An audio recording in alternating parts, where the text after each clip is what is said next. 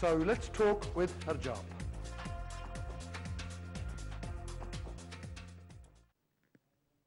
Uh, dosto, welcome to MATV Studios. You must be surprised why I am here. Actually, I am sitting for Harjap Bhangal today. And we are going to talk to Seema Malhotra, who was the sitting member of parliament for the constituency of Feltham and Heston. And uh, Seema Malhotra, as I said, is the sitting MP for the from the Labour Party constituency of Heston and Feltham. There are three candidates uh, in all. There are two from the Asian origin. One is Seema Malhotra and the other one is Samir Jassal from the Conservative Party. The Lib Dem candidate is Roger Crouch and uh, Samir Jassal is the sitting councillor also in, uh, from another area. And the Roger is a lawyer by profession. And if we go by the previous election, of 2015, Seema Malhotra won by 11,463 votes against uh, conservative candidate uh, Simon Nayyar. And uh, we are in the process of uh, calling or inviting the other two candidates to the MATV studios in, the, in due course. And uh, Seema Malhotra was born uh, in in uh, in Heston, where Heston? Mm. Born in Hammersmith, grew Hammersmith, up in Osterley. Hammersmith. Hammersmith Hospital. Yeah, Hammersmith Hospital. Grew up in Osterley, yeah. Uh, actually, that's where my grandson also born there. Oh. So we got some yeah. kind of similarity. Anyway, welcome to the studio, Seema.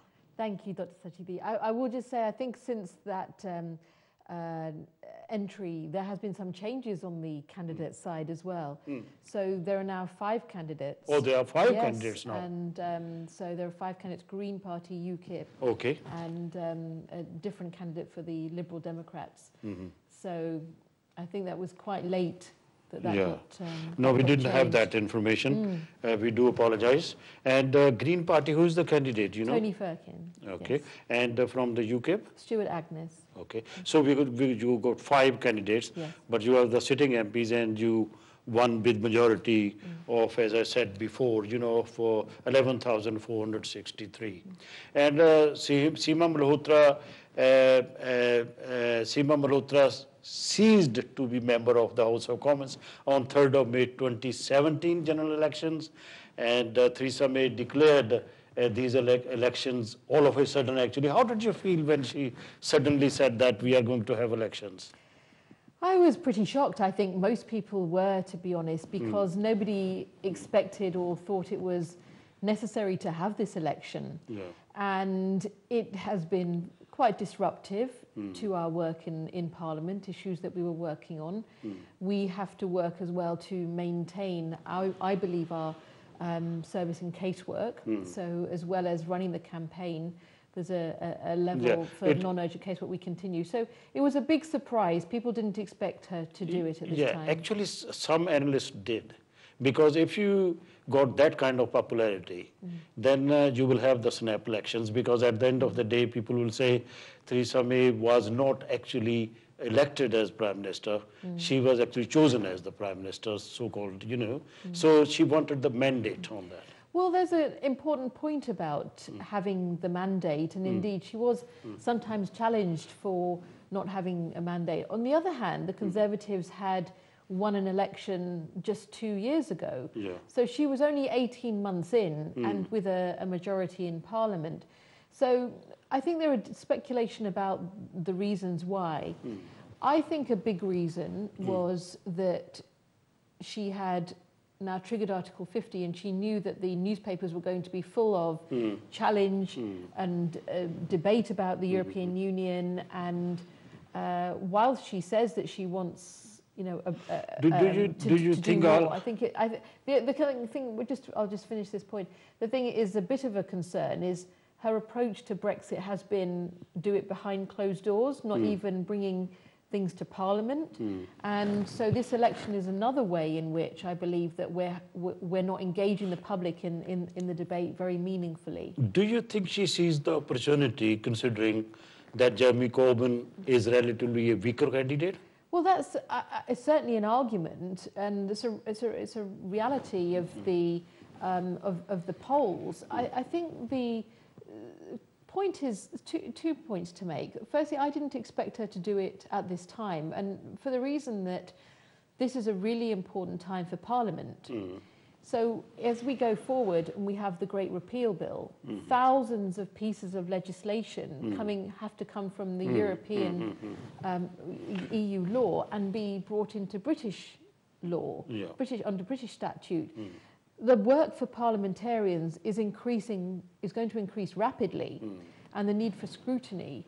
So on the one hand, if you've got a two-year window for Brexit mm. negotiations, mm. why would you want to have such disruption, and is that in the nation's interest? Well. Um, but secondly, mm. I think that I can understand if she may have wanted to do it more towards the end of negotiations. But I don't think it was appropriate now, and, and the Labour well, Party is going she, to be she has where declared it the is elections where we got to fight that election. I agree. And uh, you are uh, you are you are elected. Uh, you were elected member of uh, British Select Committee on mm-hmm. Brexit. Well, yes. Uh, and uh, in October 2017, you are going to be uh, in that process. So what will be the stand of the Labour Party? Yeah. So, so yes, I was elected in October onto, um, onto the Select Committee. Mm. And I mean, this was something I was also debating with um, the, the Liberal Democrat candidate. Her mm. name is Hina mm. Malik. It was changed mm. from Roger Crouch we were debating at Hustings mm. uh, yesterday as well um, about Brexit and what we've done. It was a Hustings actually. The Conservative candidate yeah, didn't come, didn't show up. uh, everything, everybody was very surprised. um, right. So, um, so I, I, but the, the the point was about the Brexit Select Committee. It's performed a very important function the last mm-hmm. six months mm-hmm. in saying how should the parliamentary process work how do we negotiate with the public? Mm. What are the issues around uh, Ireland, particularly, mm. um, where one part of Ireland is in the EU yeah. uh, and yeah. in, in, um, uh, yeah. in, the euro as well, mm-hmm. and the other part is, is not. Uh, because it's, it's, and there's also EU, issue of when Scotland. we leave, they won't be. Um, so, that, so the issue is, well, Scotland is different in this mm. sense. So, you, you, know, Ireland is one physical island, mm-hmm. but two. It's got the Republic, the Republic and um, the other one, which in its own right is is yeah. in the EU. Yeah. Um, and um, and so and then you've got the um, Northern Ireland. Northern, Northern Ireland, which is so part and parcel of the United Kingdom. Exactly. Yeah. So um, so the impact of leaving. Mm. The European Union is causing tension about do you have a border, yeah. do you have customs, and those sorts of issues. So and there's also a question of uh, Scotland also. Scotland has uh, been an as issue. As Nicola Sturgeon is saying that we want another referendum and so on. Yes, and that has been an issue. Scotland voted to remain, just as London overall yes. voted to remain, mm. different in different areas. Mm. Uh, the, the Brexit Select Committee has been very influential in both calling for a vote and mm. being uh, there being a, a, a, vote agreed in Parliament by um, the Prime Minister as well at the end of the process uh, various other points as well. We, you know, we advocated for the government to produce a white paper. Mm-hmm. The government then produced the white mm-hmm. paper. Mm-hmm. So uh, also uh, on, on other issues as well. It's been very influential. Scotland, you're right, mm. voted to remain. Mm. And the Scottish Parliament has mm. said mm. that Scotland should remain in the single market mm. and are concerned about the impact on the Scottish mm-hmm. economy. I visited Scotland as well as part of the work of the Brexit Select Committee. And there were a, a large proportion of the population that also voted to mm-hmm. leave. There were some industries that believe they'll be better off mm. if we leave the European Union, mm. but many that also don't believe that. So it's, it, it's a mixed picture as well. What has happened in London, mm. where um, that we've had a, a, similar issue where London voted to remain mm. is that Sadiq Khan has said we need to have a Brexit that's going to work for London. Yes. So let's tackle the issues around the economy mm-hmm. and the special needs of London, mm. um, around maybe having work permits, uh, regional work permits, and different immigration um, controls for London. And but not just for London, but each region being able to yeah. think how does my economy work and what do we need. And so, in a sense, that debate and that dialogue is ongoing and has to be part of. Okay, we will talk about uh, Brexit a bit more later on. Mm. But what I see is you got quite uh, a high profile in a limited space of time. You've been MP. You were first selected in 2011, and, uh, and now it is the third election. And by nature, we are all optimistic, you know, of winning, and I'm sure you will win. My best wishes are with you. But uh, why do you think people should be voting for you? I believe very strongly that you uh, want to vote for, and I think voting for a local person as well Hmm. is, is can be quite important for an area. I grew up in Hounslow. I went to school in Heston. Uh, grew up in Feltham as well. Yeah, you know the area very School. well, I know yeah. it well. I volunteered there with when I was a teenager with uh, people with disabilities and, and elderly people. And in a sense, you understand the fabric of a community. Mm-hmm. So being a community MP has been very important and also, also recognising the experience my parents had Mm-hmm. growing up with a shop in Osterley and living above that, working hard to make ends meet and often putting those, uh, those You're the best against- example of successful daughter of successful immigrants. Yeah, and running a shop like many of our Asian Yeah. families do as well. But it, it's also about our priorities. Hmm. I mean, m- my priorities, what I've worked on in Parliament around uh, Hmm. Yeah. equalities issues, around economy issues, around business issues, entrepreneurship, very much part of the fabric of Yeah. how our community works. Yeah. And I think on the education, NHS, Hmm.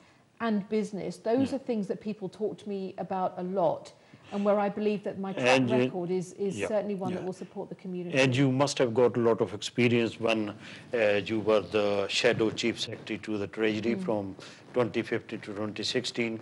Then then you were shadow minister in the home office, and then you were opposition whip in Commons. So, so you got wider uh, experience in these kind of things, how the parliament is run. That I- will, that will go to your credit. Well, I, I think that will be for people to decide. I think I've been very, always very open and um, uh, about what I've done in Parliament and working seven days a week for the constituency in different ways. And I was also, um, I think one thing I'm particularly proud of is I led a lot of the campaign that led to the reversal of the, the government's proposed tax credits changes. And that would have meant, if we hadn't succeeded, that 17 million would have been lost from the Hounslow economy mm-hmm. this year. Mm-hmm. It's a credit that supports people who are working, mm-hmm, but on lower incomes, even for a period of time. And for our constituency, that that would be a huge amount that would take not not just out of people's incomes, but then out of the businesses they shop in. So I do agree with you. And what's been very fortunate for me is to be able to work in different roles in Parliament to understand how politics works there hmm. and also to build relationships with other parties. Hmm. On some issues, hmm. you need to work cross-party and that has been a very, very Yeah, important that was valuable experience uh, for you. Uh, when we talked last time, you were anti third runway at Heathrow. Have you changed your mind? It is still there. I have a cautious approach, uh, as the, the same really, a cautious approach to expansion. There are these two points, however. Um, there's over two thirds of our local economy is directly or indirectly Yeah. dependent on Heathrow. And there's also a very interesting point for my constituency, Feltham and Heston, that 16% of people are working in jobs relating to the transport sector. That's right. That is the highest of any constituency in the country. yes. So the dependency Or on one way or the other, they are related to uh, to Heathrow Airport. Directly or indirectly, the tran- in the transport Hmm. Yeah, sector, that's what I mean. they it will be Heathrow is a big is the major Yeah, yeah. contributor, but that's the highest in the country. Hmm. Nobody wants to put Heathrow at risk. What is interesting Hmm. is that polling shows that. Um, about a third of people in, in the Hounslow borough Hmm. don't want a third runway.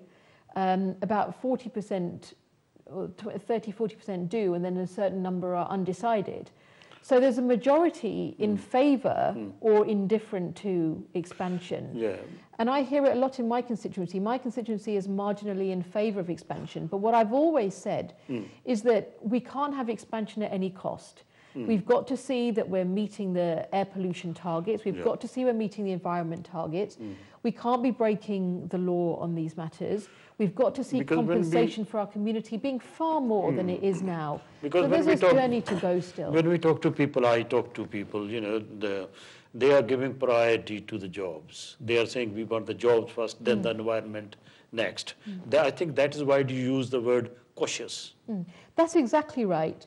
Because people understand that hmm. jobs do come hmm. high on the list. If you don't have a job, you can't do all the other things. Yeah. And it's one of those things people under, I understand, and hmm. people under, people have said this to me, that what people want at a basic level, Yeah. everybody wants The a good job, a good money home, coming in, pay the bills. Yeah. support the family, Yeah. be able to have the pride in supporting the family. Uh, they want good job, they want good home, Mm. and they want good education for the children, and they want a good health service. So basically, you will support the third runway as long as the environment issue Environment is sorted out. Support. Uh, in, I think this is these are still areas where there's there's still a journey to go. The air pollution, Hmm. Environmental issues, and also compensation for the community. for the people who will be moving away from the area. Not, not just that, Hmm. but compensation for people who are living there, noise compensation, other Hmm. Well, aren't we already doing, you know, we are giving them the money to have the double glazing. Ah, not nearly and enough. soundproofing, so that's not enough. Heathrow's record is worse than every other airport Hmm.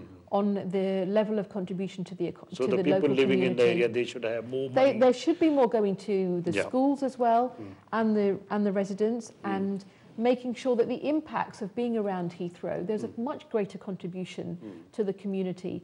So I do think there's still a journey to go. People are right to be concerned, but two thirds of uh, I've I've had 2,000 people write to me Hmm. in support of expansion.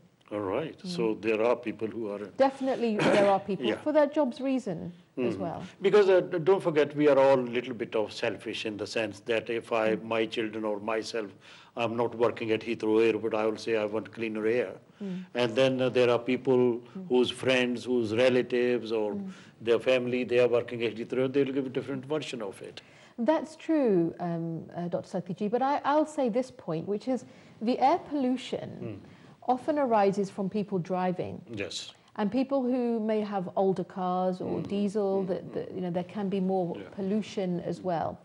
That's why I believe very strongly, this is um, something I'm calling for as well, is that there should be different incentives for people to change their cars, mm. to change possibly to electric vehicles as well. And then when you do some measures like that in more polluted areas, mm. Then it will reduce the local pollution, which can have a very big impact. And that's Yeah, a big uh, part of what I believe You're right, actually, because cars are the biggest uh, uh, That's the main source. of the- danger to the environment. yes. Yeah, but that is gradually, I gradually, I think, really sorted out itself. You know, the science is progressing, Mm. and there are electric cars, as you say, even driverless. Well, even driverless. but I recently um, uh, bought an electric car. Oh, yeah. And I, whilst you have to plan a bit more, hmm. you can't do long journeys in the same way. Yeah. It has made a big difference. And I think that we need to do a lot more now. The government needs to do a lot more. And they resisted even publishing an air pollution strategy. Yeah, yeah, yeah. They had to be taken, you know, in a sense, the court to make that ruling that they had to bring oh. forward a strategy. And I, so I believe very strongly there's more that must be done. We reduce the pollution coming from the vehicles, and it, that is the major part of the pollution in the area in which we live. And also Sadiq Khan, as he said, you know, the cars with the diesel engine and the old ones, uh, they got to be stopped. I literally stopped coming to the Yeah, London. I'm very or proud put of a Sadiq charge on it. Yeah. Yeah. I'm very proud of Sadiq for that. Okay. Because how much impact it has on health, older people, younger children Mm. Yeah, with asthma. That is very true. That's what has to Okay. change. Okay, let's move on. You know, Theresa May is trying to pull votes from Labour, as you must have seen in the papers. Uh, sorry, I got to go for a break, then we carry on with that. Uh, dosto, it's Seema Malhotra, who, is the, who was the sitting MP for Feltham and Heston. We are talking to her about the forthcoming elections, which are going to be held on 8th of June. A small break.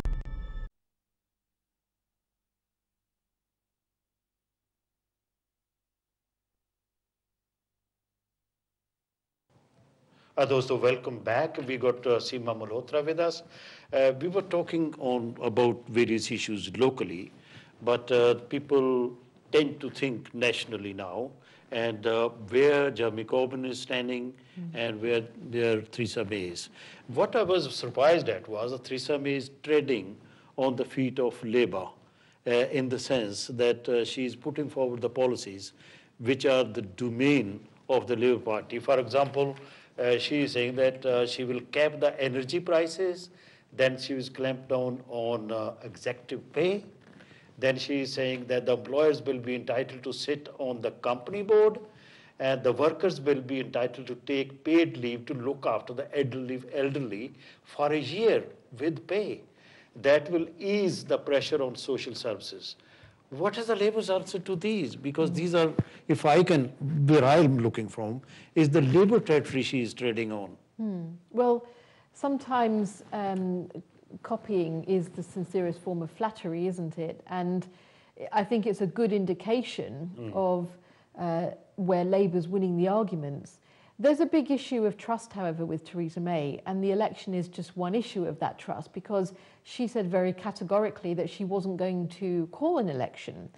And then she called an election and did it in a way that was going to be the maximum surprise and going against Yeah. um, the, the law that she But had she- she- supported passing on the She, she, she may be Parliament Act. opportuni- opportunistic.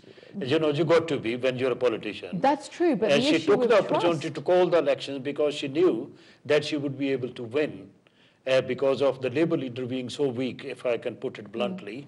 And uh, now she is saying that she will do all these things. For example, uh, clamp down on executive pay and uh, giving the people one year paid leave to look after their elderly parents or disabled uh, relatives and things like that. It is something which can attract more votes for her. The other way of looking at this is what she's actually done. Hmm. So she has been part of a government that's overseen 18 four, no, her government. She's been part of the government since Yeah. 2010. She's Well, Shadow Home Secretary. Yeah. And that has led, that's a government that has seen 4.6 billion cut Hmm. from social care.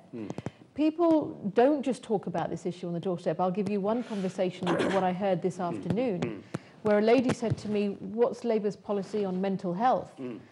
And I told her about how we've argued in Parliament mm. for there to be greater investment in mental health and public health. The mm. government last year cut 200 million in year from public health. But, but do you But- think she will be able to do this, what she is I, saying? I would be surprised if she stuck to her promise. And the, the, the, the important point at election time is to look in the context of what somebody's actually done.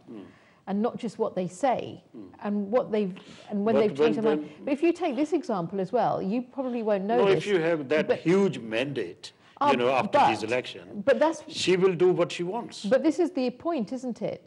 The Beca- point because is, if do the you- opposition is weak, But do you trust she'll do what she says? That's the point. Do hmm. you trust that she will do what she says? What she hasn't told the hmm. country is that she, in the Conservative Party, in mm. the cabinet, they cut 600 million from mental health. Mm. 6,600 mental health nurses mm. check, gone. And we've got a mental health crisis in this country. And I, I hear it with young people in schools as well, um, as well as older people. yes, The is- other issue, you, did you know this? That she had cut 19,000 police officers in, from this country while Home Secretary. She also presided over the changes to family visas. And so she's made it harder with the income threshold. That was designed to keep people out. And I get casework after casework. Okay, so these three points which I have pointed out, which Hmm. has come in the press today, as a matter of fact, about this one-year paid leave and uh, uh, cap on uh, energy prices. Which and, uh, Labour's already talked about the last election. Well, uh, but what you're trying to say is that she stole your idea. She's saying what she feels she needs to say. She's, she stole Labour's idea. She's stolen a lot of Labour ideas. What she's, Yeah. she's saying what she feels Okay. she needs to say. Do you think but her track able- record is not one in which you can believe that she's going to deliver that. Okay. Uh, she also says that she wants to protect workers' rights. She voted against, and the government voted against, a private member's bill in Parliament mm-hmm. in January mm. to make sure that we protect workers' rights when we leave the European Union. So you have to look also at her voting record, not just what she says What if she she, says, say things. what she say, what if she says it was then, but it is now? It was in January when she was prime minister. Yes. You see, this is the challenge. You mm. know, it, uh, the question is people's where people genuinely are. Hmm. And you rightly have asked about Jeremy Corbyn, but I'll say a few things about where people have talked to me, even those who have supported the Conservative Party, who have told me they're voting Labour hmm. this time in the constituency. They recognise the problems for housing for their children. Hmm. They, when I tell them that the Tories slowed down house building to the lowest level since the 1920s, that their record on social housing and affordable housing hmm. But- slowed but- almost completely. But she has made a statement this week. She has made a statement that she is going to build 1 million affordable housing and she is going to give more powers to councils and the housing associations to spare the cash and spare the spaces and also compulsory purchasing. Well, Labour had already said that we would build a million homes and that 50% of those would be affordable. Yeah. And Labour has already said that we would need to look at powers and ways in which we would fund that. Labour's already said that we need to be thinking about how we build homes in our communities, um, how we keep families together. So I think there's a little bit of running to catch up with Theresa May here, and they do not have a record that they can be proud of at all in mm-hmm. relation to housing and social housing. So I think again, people are looking. People have said to me, "This is interesting." what you're repeating is what the Tories have put in the newspapers. I understand that, hmm. but what I'm telling you is what I also hear on the doorstep. And when you have to, when you look at what a political party is putting in the newspapers, you also have to say what they're not telling you. Hmm. Then she's not telling you that she's cutting children's education funding by 8% by hmm. 2020. Hmm. And she refused to reverse that even in the weeks before she called the general So election. So all these policies, they were labor policies and she has stolen them. the That's what ones that saying. are popular, she has certainly taken a lot, but also she has not spoken about the issues where she's unpopular. Hmm. And she's not spoken on the issues of school funding. So on these things, people have to look very closely.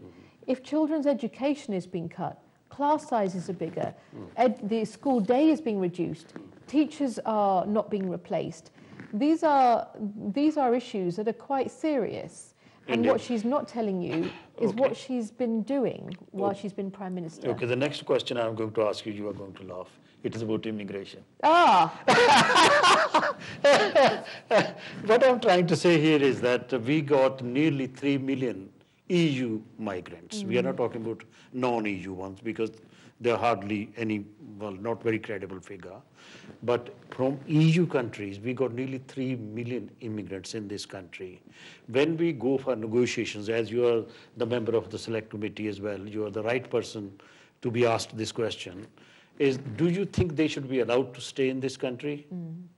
I have said my view, and in fact, this was unanimous mm. from the Select Committee, mm. that those who are here should be having the rights to stay, particularly those they've got jobs, families, children at the schools. Many of them have actually been here for maybe 10, 15 years. So may even lots Well- more than the five years that they can Yeah, the most of uh, them started coming after Tony Blair uh, said that we will have only 13,000 immigrants from Poland. not And we ended up 600,000 Yes, and so on. Not exclusively, but many Yeah. are also working, aren't they, and paying Yeah, indeed, taxes, yeah. and they're So you are in nurses in our favor of them staying here, But also that people who are living in the EU, British yeah, uh, citizens, British should people, have the right to stay. 1.5 million. Yeah, they should have the right to stay. This is where this is very important. Mm. You, you know, the thing is that whilst you know I don't, I'm not saying that we'll go there, but we've seen what can happen Mm. when you don't have a politics that manages these issues well. Mm. Now, there are countries where you've seen partitions of different kinds, and then refugees going one way or the other. We don't want to see any of that.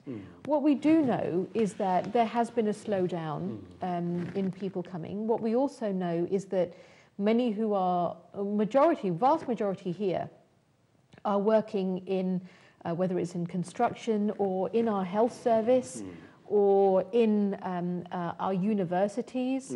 Uh, So they should be allowed to stay in this country. They're paying taxes. You know, there's also you, you've seen. You, I'm sure, Dr. Sathiji, you've seen the government research showing Mm. that they pay. There's more paid in taxes than claimed. Well, that, that goes state. without saying, they're hardworking yeah. people.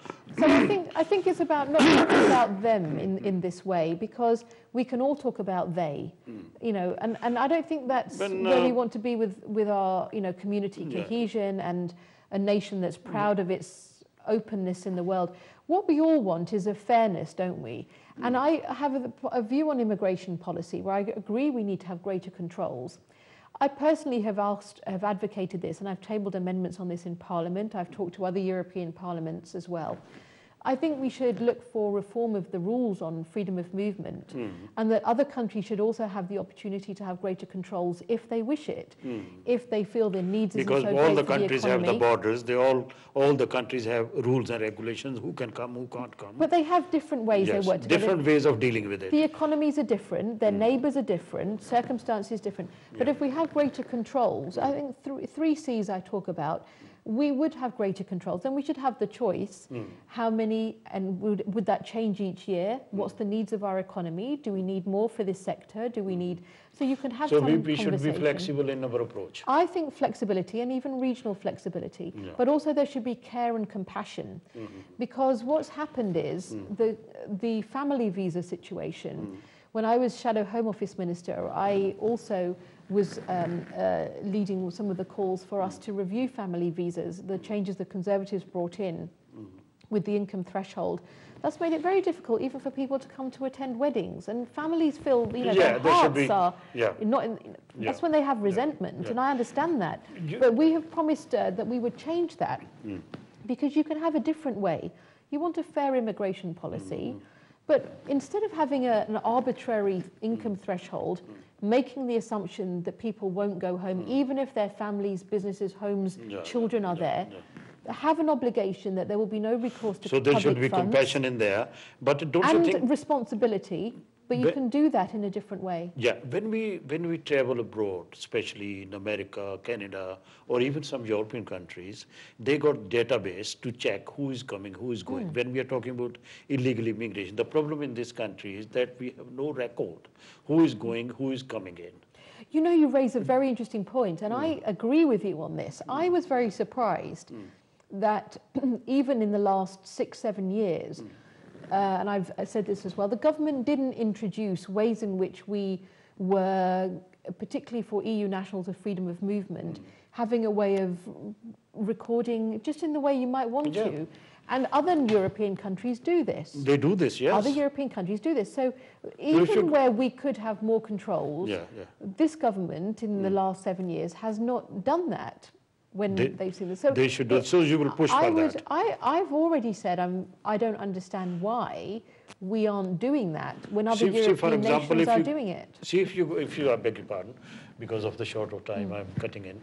Uh, if you go to Canada, for example, or America, they immediately know when you came here and when you left last time. You could bring up, they could bring out the history of your migration plan, which we don't do it here and we should do it. In, a, for, in some aspects, in many aspects, we do. But the primary issue has been freedom of movement from the European Union and the reduced controls around that. But even with free movement, hmm. you could have a system whereby the nation has a way of registering people when they come. Yes. And other European nations do do that. If they do that, and we should that also is something it. that we can do whether or not we left the European Union. Okay. Let's move on to uh, Jeremy Corbyn. Uh, with a few days to go now, the Labour Party is at, uh, today, it is today's figure, 31%, and uh, Conservative Party is 49%. When we talk about uh, uh, Jeremy Corbyn, he, there's a wider difference between his popularity and Theresa May's popularity. When you see these kind of figures, do you believe these figures, first of all? And what do you think is going to happen, you I, those figures are very disappointing, and it is difficult for the Labour Party. Uh, It's difficult because um, of all the reasons that you have said. But I think there are these issues that are very important to this election. It isn't just going to be about the leadership as Theresa May wants to make it. Theresa May, you'll have seen, doesn't even say this is about the Conservative Party because she knows the Conservatives is a toxic brand. Mm. You'll notice on the side of the bus Yeah. it says Theresa May. Does it say the Conservatives? Very Wow. small writing. So you Yeah. have to understand the Conservatives are also a toxic brand. With Jeremy Corbyn, I, you know, I understand what people are saying, and people do raise the issue of the leadership of the Labour Party with me. What I will also say is this, hmm. that this election must not be an election where we give Theresa May a blank check. Okay, She- let- let- and- because and we got is- just one minute. But this is the point. People should still vote for the Labour Party. minute. We got just and one they should minute. vote for the Labour Party and for very strong local Okay. candidates who What kind of future you well in see? Parliament. What kind of future you see of Jeremy Corbyn after the elections? Well, I don't know uh, what's going to Eh, happen. I don't know do what's you, going to happen. Do you think What there I- will be breakaway from uh, the Labour. Party, main male Labour Party, as it is in the press, that uh, so-called progressive Labour Party will uh, uh, take hold of the party? You know, there have been no conversations that I've had about that at all, and I've asked colleagues as well. So hmm. somebody somewhere is talking about this, but the reality is. What has happened in 1970s? yes, but the reality is, I'll be very honest with you. Hmm. When I'm out hmm. and we're in our communities, we're in our constituencies, the biggest issues that are coming up are the NHS, mental health. Somebody raised with me, universal credit rollout, particularly for self-employed being impacted, the cost of small businesses going up. Nobody is really raising the issue of Brexit with me. Theresa May wants this to be about Brexit. I understand the issues of Brexit and I study them So the. Brexit has become a we've to- secondary issue on doorstep? People want to have Brexit that isn't going to hurt the economy, Okay. but it is, it is not the, the primary issues people are concerned about are education, health, housing, and making sure that we have uh, the controls over immigration Right. and to I've have the time. right I've run out policies of for the time. economy. They want good jobs and good homes. That's what people are saying to me. Run out of time. I love talking to you, Seema, and I'm sure we will talk some other time also. Thank you very much. And those, so that was the program we had. I hope you liked what we have talked. You may not have liked because that's what the democracy is. And I will be see- seeing you on Thursday in my own program at 9:30 p.m. on Thursday.